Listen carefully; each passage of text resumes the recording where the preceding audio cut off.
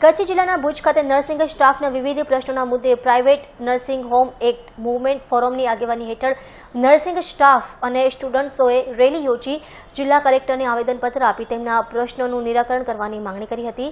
ભુજની GK general હોસ્પિટલથી collector સુધી નીકળેલ આ રેલીમાં નર્સિંગ સ્ટાફ અને નર્સિંગ સ્ટુડન્ટ તેમજ યુનાઇટેડ નર્સિંગ ફોરમના પ્રમુખ ઇકબાલ કડીવાલા પણ જોડાયા હતા.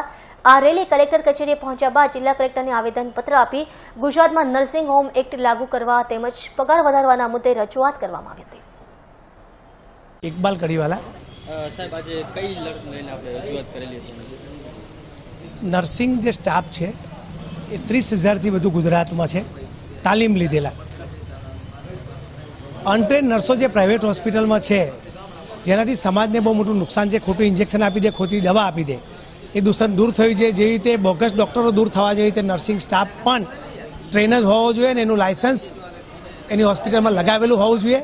એના માટેનો કાયદો છે private nursing home act Gujarat સરકારે લાગુ પાડવો જોઈએ.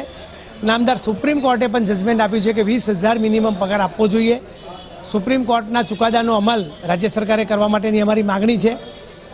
નર્સિંગ એક્ટ ગુજરાતમાં લાગુ થાય, જેથી તાલીમ લીધેલા નર્સોને પૂરો પગાર મળે અને અનટ્રેનનું દૂર થાય. અને ત્રીજી અમારી માગણી છે જે પ્રાઇવેટ હોસ્પિટલો અને રાજ્ય સરકારની તમામ સરકારી હોસ્પિટલોમાં કોન્ટ્રાક્ટમાં જે કામ કરે છે, સ્ટાફ, એને સરકાર પૂરો પગાર ચૂકવે છે, વીસ હજાર, એકવીસ હજાર.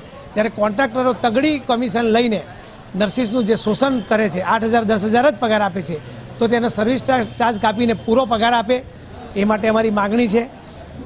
અદાણી હોસ્પિટલથી નામદાર કલેક્ટર કચેરી સુધી અમારી મૌન રેલી હતી. કલેક્ટર સાહેબે પણ અમારી વાતને સ્વીકારી છે કે તમારી માગણી સાચી છે. વધુમાં જે ભુજમાં અદાણી હોસ્પિટલ આવી છે, તેમાં પણ અનસ્ટ્રેન સ્ટાફ છે. અનસ્ટ્રેન સ્ટાફ દૂર થવો જોઈએ અને અદાણીમાં તાલીમબદ્ધ સ્ટાફ જે કામ કરે છે, તેને પણ તેનું શોષણ ના થવું જોઈએ. એને પણ એનો પૂરો પગાર મળવો જોઈએ.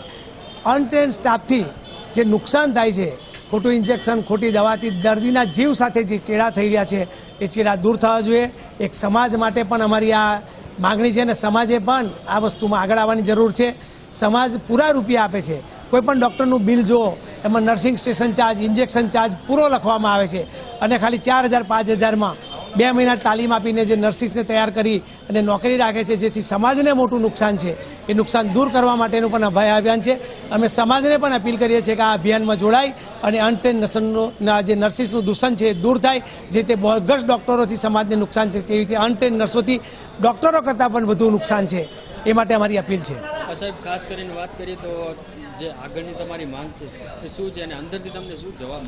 બે વર્ષથી અમારી આ માગણી છે કે નામદાર સુપ્રીમ કોર્ટના જજમેન્ટનો અમલ થાય અને નર્સિંગ હોમ એક્ટ ગુજરાતમાં લાગુ થાય, જેથી અનટ્રેન નર્સિસનું દૂષણ દૂર થાય.